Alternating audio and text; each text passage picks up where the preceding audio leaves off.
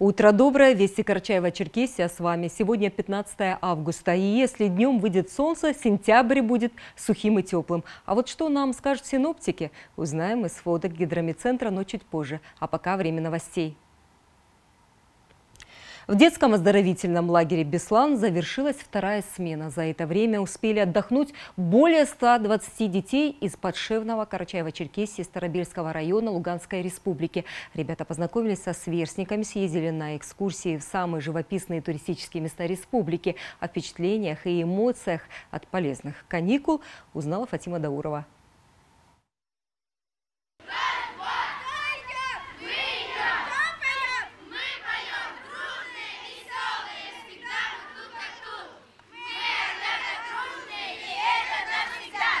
Так, с традиционными каждому отряду речевками ребята направляются в столовую. На часах полдень, а значит обед по расписанию. Нагулявшие аппетит за утренние игры на свежем воздухе, детки с удовольствием принимаются за еду. В зале слышно только постукивание ложек о тарелки, говорящее о том, что повара потрудились на славу. Все по сбалансированному меню. Подбор продуктов как раз рассчитан на взрослеющий молодой организм. Спасибо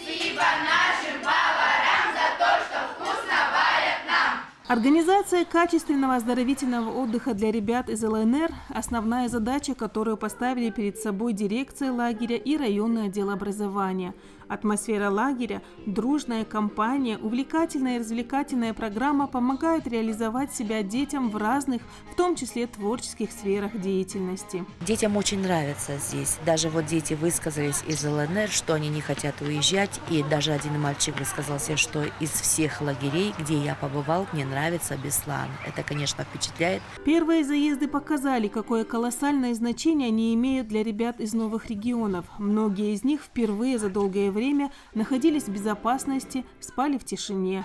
Психологическая разгрузка помогает ребятам отвлечься от тревожных мыслей и переживаний. В первые дни, а, когда здесь видно трасса, самолет пролетает, да, и вот гул, и первое, что они спрашивали, это что, ракеты летят, да, ну у нас просто все время.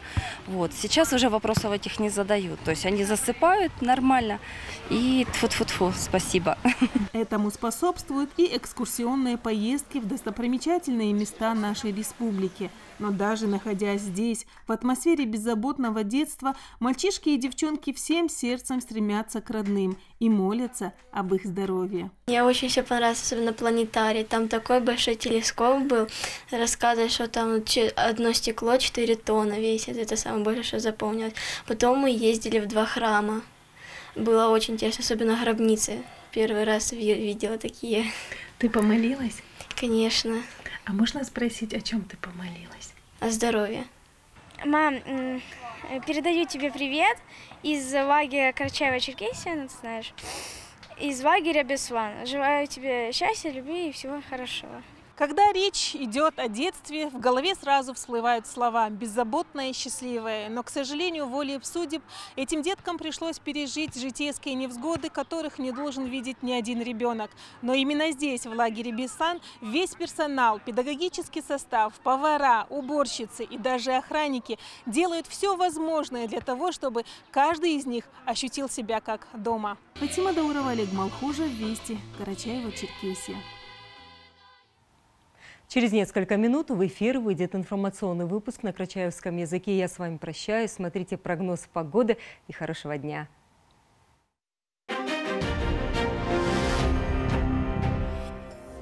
В Карачаево-Черкесии переменная облачность. Ночью местами кратковременный дождь. Днем преимущественно без осадков. Ночью и утром в отдельных районах туман. Ветер северный 6-11 метров в секунду. Температура воздуха ночью плюс 9 плюс 14, в горах плюс 4 плюс 9. Днем плюс 23 плюс 28 и местами плюс 14 плюс 19 градусов. Черкески без существенных осадков. Ветер северный 6-11 метров в секунду. Температура воздуха ночью плюс 12 плюс 14, днем плюс 26 плюс 28 градусов. Bye.